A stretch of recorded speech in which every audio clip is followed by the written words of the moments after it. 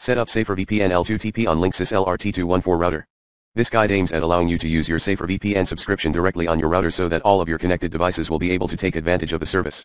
Please make sure you have signed Safer VPN up before proceeding with the tutorial. Make sure you have the following things with you before you proceed, a working internet connection. Linksys router that supports L2TP.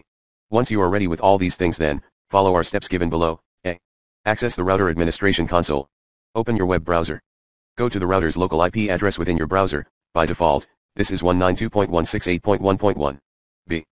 Configure the L2TP VPN connection. Click on Setup and then on Basic. Choose L2TP from the drop-down.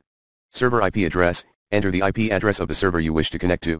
Username, Safer VPN username. Password, Safer VPN password. Keep alive, 30 seconds. MTU, choose Auto from the drop-down menu. Size, 1460, default. DHCP server, choose Enabled. Client lease time, 0 static DNS1, 8.8.8.8. Static DNS2, 8.8.4.4. Static DNS3, 0.0.0.0.